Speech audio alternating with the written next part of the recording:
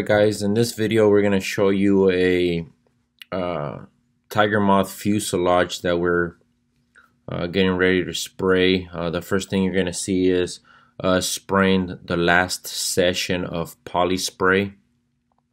Uh, the fuselage has already been shot with the first session of poly spray.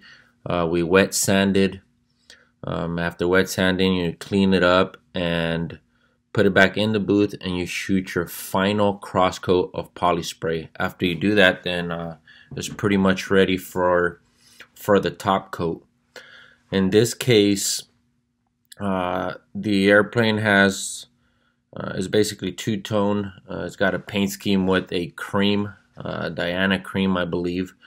And then it also has um, a blue uh, insignia blue is what we used for this video.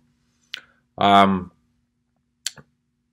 the owner wanted to spray polytone Diana cream. He wanted a semi-gloss finish.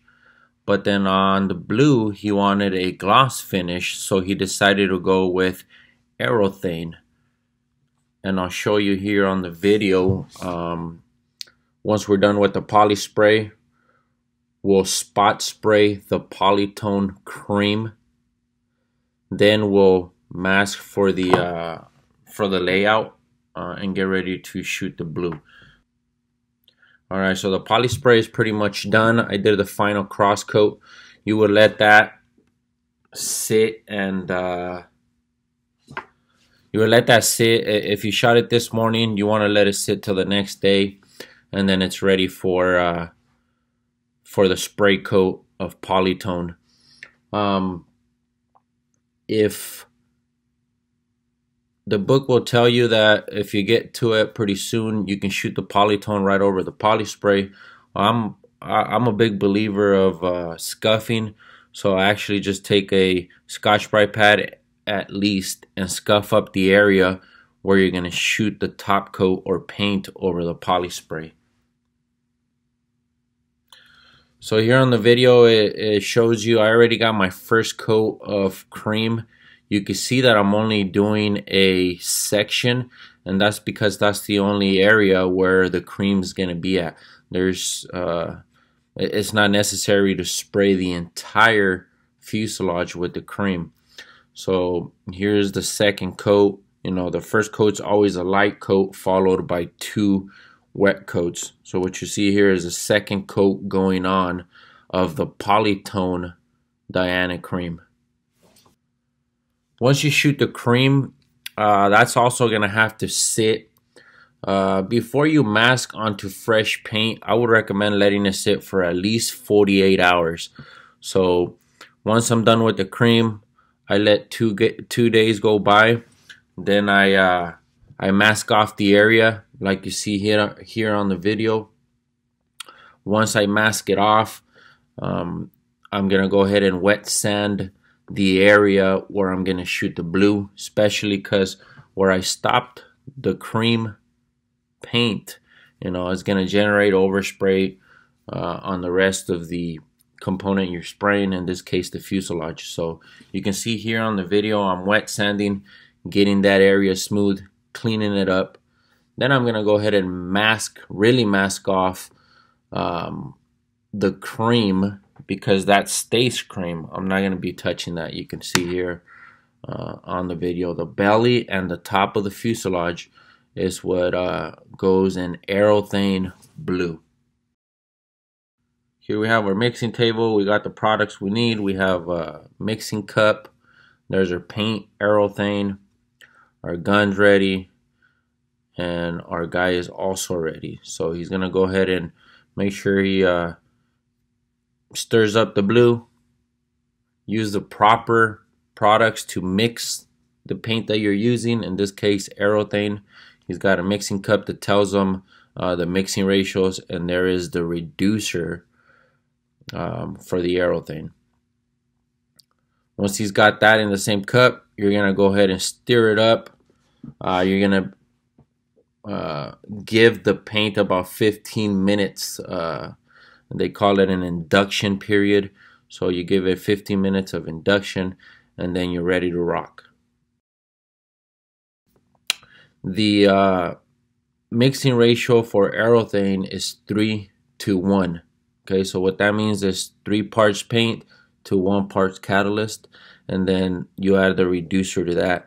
You can uh, reduce anywhere from 25% to up to 50% of catalyzed paint. So once you mix your paint with catalyst, then you do the math for the reducer.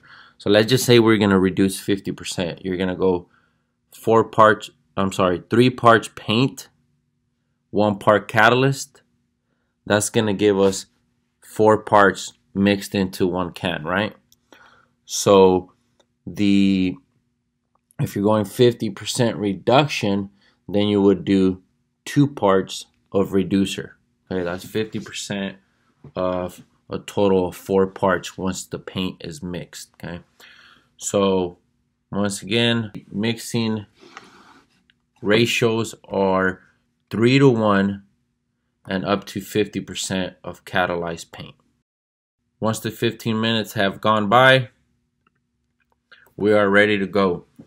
So here, um, when we start spraying the blue, you can see the, the first coat is definitely a light coat. A lot of people talk about a fog coat, and you could do a fog coat. We tend to go a little heavier.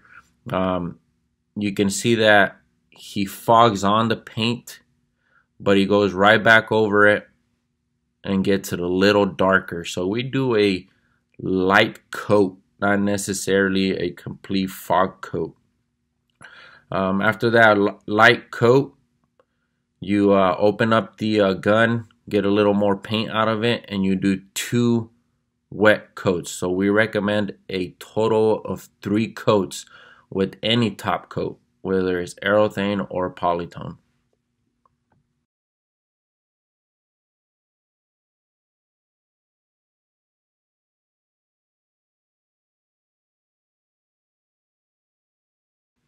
Once the third coat is done, um, you want to try to unmask the airplane um, as soon as possible. You don't want to do it too quick because uh, when you start unmasking, if the paint is still wet, um, you know, you can touch the paint with the masking. Also, um, if it's too soon, sometimes you can't unmask and get a nice crispy line. Some of the paint is bridged over the tape so it'll, you know, tear up. Uh, it just won't work doing it too soon. So really, um, after I would, the, the soonest you're going to be able to do it would be about six hours um, after the paint job. And that's, uh, that's if you're dealing with about 65 to 75 degrees in temperature. If it's colder than that, you're going to want to give it, you know, 8 to 10 hours or so. Uh, you also don't want to leave it for too long uh, just because the tape could leave an imprint on your fresh paint. So uh, once you're getting ready to mask, mask, prep, paint, and then unmask uh, uh, if I had to give you guys a, a, a, real time frame, I would say after eight hours, uh, you're ready to unmask.